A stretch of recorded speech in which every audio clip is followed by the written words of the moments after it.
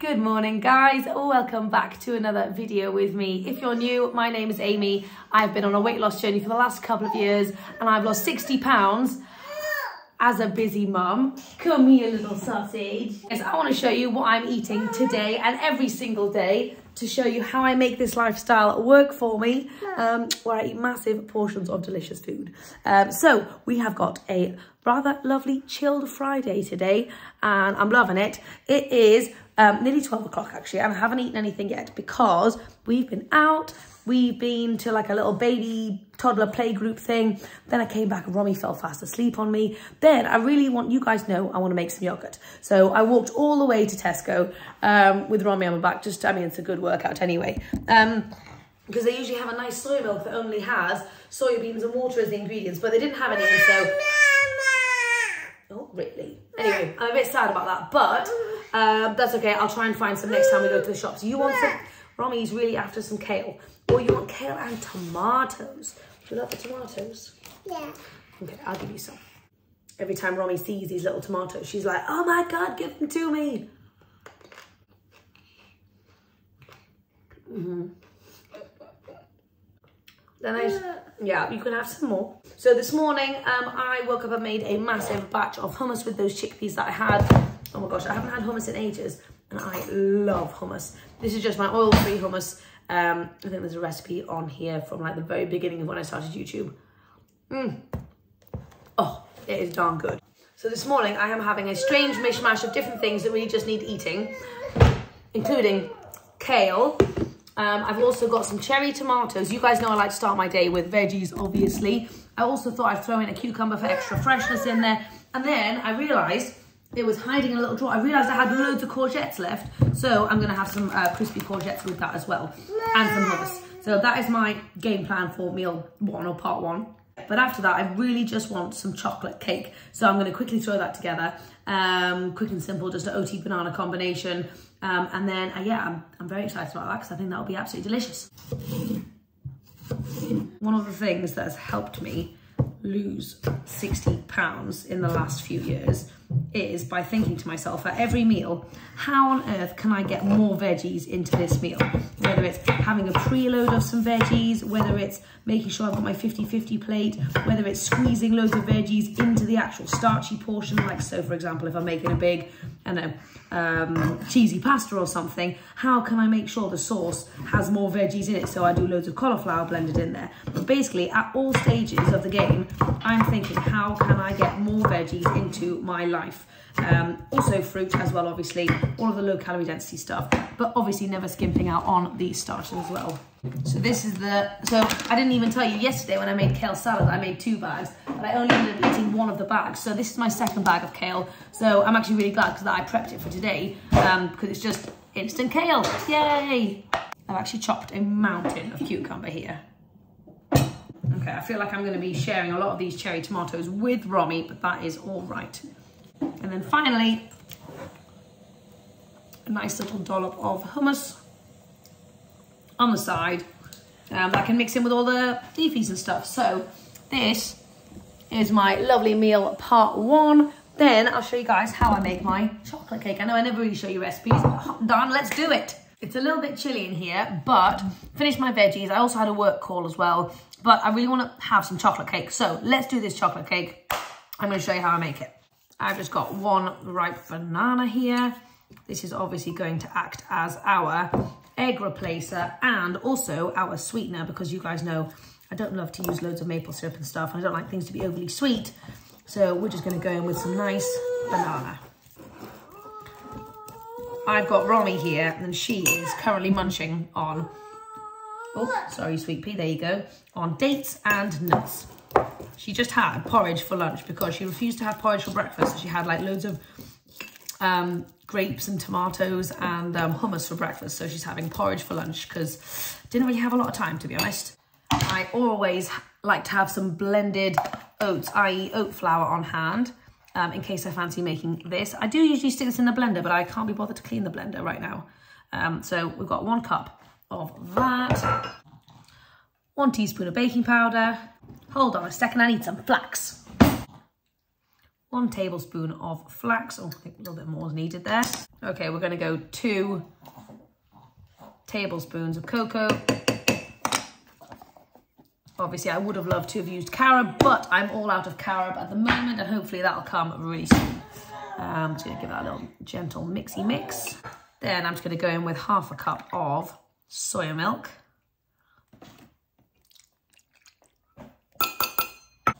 And let's mix. Yeah. Do you like chocolate cake? Yeah. Yeah, fantastic. Oh my gosh, this is actually gonna be delicious. Oh, look at that lovely batter. Oh, hold on a second. Splash of vanilla. Okay, there we have it. Then I'm just gonna stick this baby into the microwave, maybe for like five to eight minutes and just see kind of when it feels like nice and firm in the middle. So let's do it.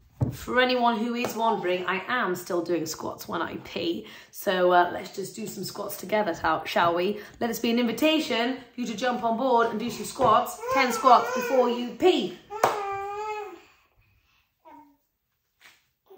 Three, nine, ten. I must say, I did a heck of a lot of squats yesterday and it was amazing. Okay, so I've got my chocolate cake and I really fancy something like drizzly on the top. I would have naturally gone for maple syrup and cocoa powder in my old days, but I've now transitioned and I now go for a banana uh, with some cocoa powder. Um, whilst I was eating the mix, is really interesting. It is a lot more bitter than a carob. And that's why I really dig the carob because it's just so sweet without any of the bitterness. So there's nothing to counteract it. So I would have loved to have used carob. Tomorrow I will use carob. Anyway, um, it is actually quite late. It's like 1.30. And so I realize, I realize I need a little bit more food. So I'm going to add two bananas um, to make my chocolate sauce to like kind of bulk it out a little bit. Hold on a second. And some chickpeas. Because why not? Just a little bit, like third of a cup. Bit of vanilla, splash of cocoa powder. And let's blend. Okay, that is actually an amazing chocolate sauce. That is, the chickpeas have actually given it a really good like consistency. So, wow, that's such a good three ingredient chocolate sauce. Amazing. Oh, wow. I've already had a bite. This chocolate cake is amazing. It's so fluffy. And I tell you, this chocolate sauce is next level. Mmm. Mmm, mmm, mmm. There's actually loads of chocolate sauce in here. Um, so let's just like pour it all in. Oh, let me just make a little lake in the middle. Okay, there we go. There we go. I highly recommend trying out this chocolate sauce. Ah, so Romy and I have just spent ages cleaning the house because it was disgusting. And now we're just on our way to go and pick up Abe. And I thought it would be a really fun little treat for him and for me to take a football and go and have a little kick around um, in our little local kind of basketball area. Um, because he always has loads of energy to burn off when I pick him up from school. So I thought that would be a good way to do it. And I get to get some movement in. So I thought that would be win-win for everybody. But um, yeah, I'm just having one of those days where, you know, you just kind of, the mind is a funny thing. You know, sometimes you wake up and you're like, yeah, everything's amazing. And you're like, let's get it. And then some days you wake up and you're just like, oh God, there's so much more I could be doing in every direction of my life. And I feel so inadequate and just like so rubbish, so unorganized. And I've just had one of those days where I've just been feeling really meh. Yeah, and um, so anyway, I just wanted to kind of let you know, not every day is like, yay, super exciting.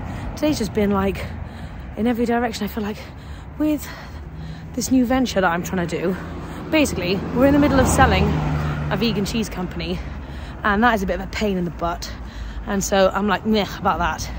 And then I've got so much excitement and so many ideas that I want to do for Broccoli Mum. Because obviously I've got my Instagram, I got this, and you know, I, I find it so fun. There's loads of directions I could go, and I'm trying to figure out what direction to go in with the very limited time that I have because I've got Romy all day long and it's hard to squeeze in time to do any work. So I just feel like just like I'm not spending enough time with Romy and I would love to be spending more time on work as well. And like there's just so many directions. Yeah, after feeling a little bit bummed out this morning, I realized that it is purely a mindset over matter kind of situation. And so I was like, come on, nothing's actually changed. I woke up fine yesterday and life is great. Life will go on no matter what. And I just need to crack on and like kind of have a bit of a vision and spend a bit, a bit of time instead of procrastinating around. And so the rest of the afternoon's been really good and really productive. So it's amazing the mindset shift. Everything is about the mind. It's not about physical stuff. It's all about your mindset and, you know, how you want to make that work for you. We're finally back at home and now I've got half an hour to throw dinner together like super, super pronto. So I'm going to show you how I do my tomato soup really, really, really speedy. Also, it was a fantastic idea of taking Abe out. He loved it and now he's knackered, which is brilliant. Big pot. So this is literally the easiest recipe ever. I've got four tins of tomatoes, an onion, I'm going to do a cup of red lentils and some veggie stock or some bouillon powder.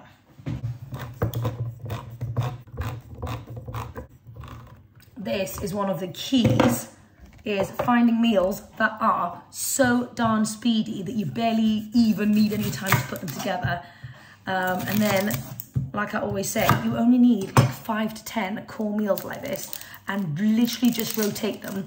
Um, doesn't take a lot of effort to find five or 10 meals um, that tick all the boxes. Um, really delicious, really filling, low calorie density, fast to make, I've obviously show you guys a ton of them. Um, and that is, that is the magic there. So right, we've got an onion going in. I am gonna saute this onion uh, really quickly for like two minutes because otherwise I don't like the oniony flavor that it has.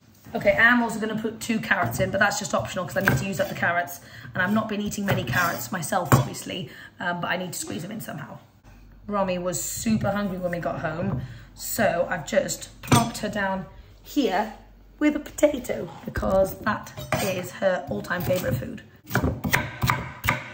Doesn't have to be beautiful because I'm blending it up later anyway. In it goes. Okay, so meanwhile, I'm going to grate up all these potatoes. I'm going to turn it into a massive vat of hash brown mixture. And then I'm going to take it in turns in the air fryer, kind of just making those, obviously prioritizing the kids' stuff first. So let's do this. Also, let me know if you guys actually like seeing me make the food, um, how I kind of do this stuff. I've been trying to prioritize that today. Um, and I could try and do that going forwards. Not every day, but maybe some days. Um, but let me know if you guys like seeing me how I make this food or if you just are happy with just seeing the end result and me kind of explaining it. Let me know what is your preference. Making sure all the bad bits are off. So I was thinking about making something else actually, which is um, sliced potatoes in like a chickpea flour omelette kind of thing, like a patatas, what's it called? Is it like a Spanish thing? I don't really remember what it's called. But it's like, it's kind of like, it's meant to be like an eggy um, thing with like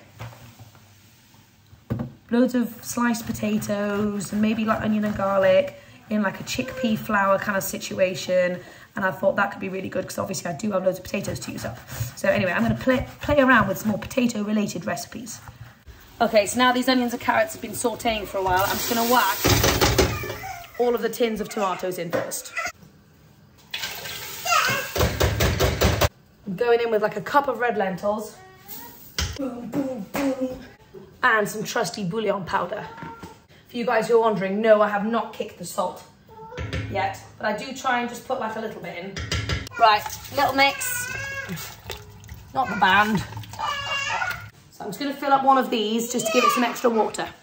Anyway, lid on, and we're gonna let that sit for a little bit uh, while I do the hash browns.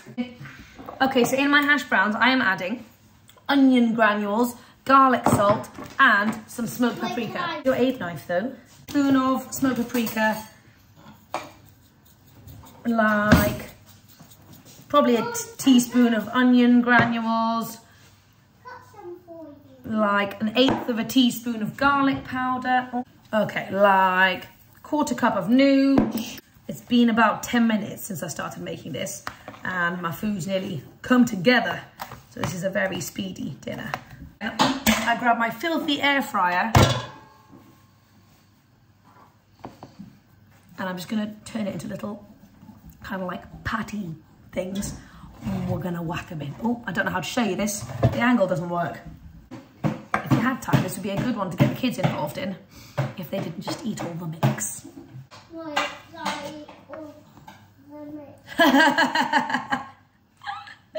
Cheeky rascal. So this is what I've got. I'm gonna stick it on for 10 minutes at 180 degrees Celsius, and then I'm gonna flip it over and probably do another five minutes until it's beautifully crispy. Da, da, da, Quick clean up. I also wanted to say, I have received my carob, organic carob powder from, I just got it on Amazon, but it's a Whole Food Earth brand, and um, this is the one I'm going to be devouring. It'll probably last a week or two. But anyway, just wanted to show you, that's what I got. Okay, these, this batch is done and they are looking beautifully crispy, just how I like them. And now we're going to rotate. So this soup has been simmering nicely and now we just need to blend it up. Here we go. Super thick and creamy, delicious tomato soup. Now I need to clean this blender out real quick because James and I really love having silken tofu mayo to dunk our hash browns in and then dip it in the soup. It is divine, so I'm gonna quickly whip that up now.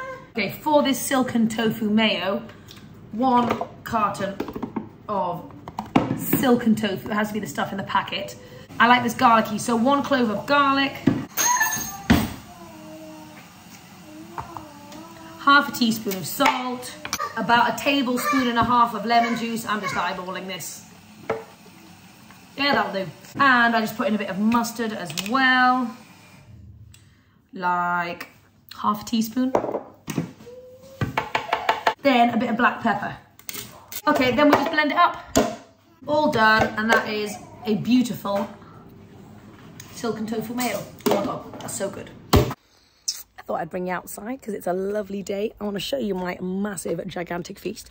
I've got my tomato soup with a bit of the um, tofu mayo in there. I've got loads of crispy courgettes and I've got my hash browns on the side. So that is going to be my delicious dinner this evening. Low calorie density, amazing, super satisfying and quite quick to throw together. This soup is to die for. Mm. It is so thick and just amazing. Mm. Excuse the babies in the background. Oh my God, what a combo. What a combo, guys. Mm, mm, mm, mm, mm. Love it.